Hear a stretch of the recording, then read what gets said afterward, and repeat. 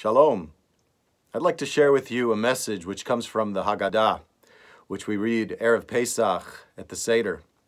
It comes from the fourth section of the Seder, the Magid section, which is the telling of the story. And it immediately follows Yachatz, which is when we break the middle matzah. It talks about the matzah. It says, Ha Lachma Anya.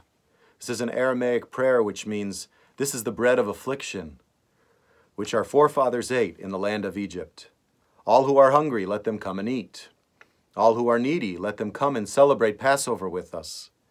Now we are here. Next year, may we be in Israel. Now we are slaves.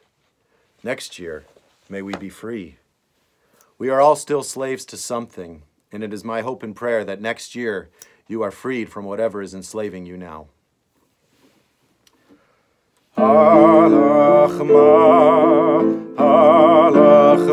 Tanya, di achalu, achalu avhatana, deara, deara, de Mitzrayim, deara, deara, de Mitzrayim, kol dichvin yete veyechol, kol ditzrich yete veyifsar, shata aha, lashana haba deara de Israel.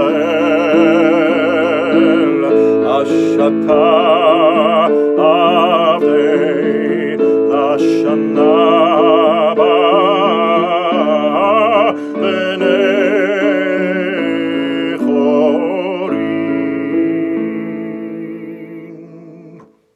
Chag Sameach.